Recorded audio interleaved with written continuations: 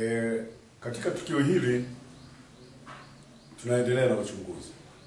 Watu 13 wameshikiliwa, lakini tunaendelea na uchunguzi na pindi uchunguzi utakapokamilika tutaweza kwa Kamanda wa polisi mkoa wa Mara, kamishna msaidizi wa jeshi la polisi Daniel Shira akiongea na vyombo vya habari ofisini kwake, anasema kuwa katika doria zinazoendelea kufanyika maeneo mbalimbali wamefanikiwa kuwatia nguvuni watu hao kwa kujihusisha na vitendo vya uhalifu.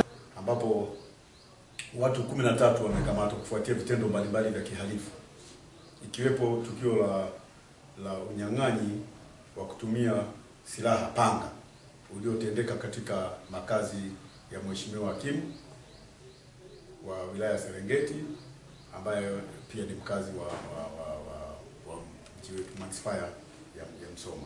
Kamanda Shira ameongeza kuwa vikosi vyake vimefanikiwa kukamata pombe haramu aina ya gongo lita 235 na kilo zaidi ya 23 za madawa ya kulevya aina ya bangi. Kutokana na haya mambo mawili eh, operation kali imefanywa na mkoa katika wilaya ya, ya Serengeti ambako sa- mpaka sasa tunawashikilia wahalifu sugu wa mifugo, wezi sugu wa mifugo wapatao watano.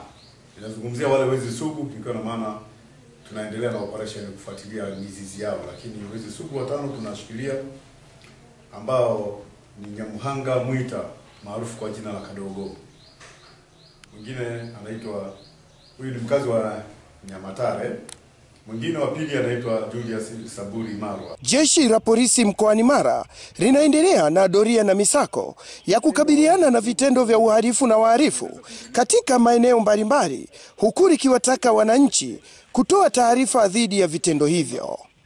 Sadiki Unga, Star TV, Mara.